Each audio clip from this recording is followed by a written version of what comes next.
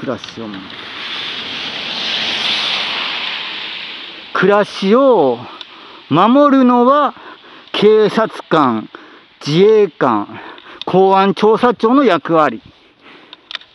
だから政治家がやらなきゃいけないのは、あくまでも国民の声、市民の声を聞いて、より良い政策を企画して国会に提出する。これは暮らしを守るではなくて、提案するってこと。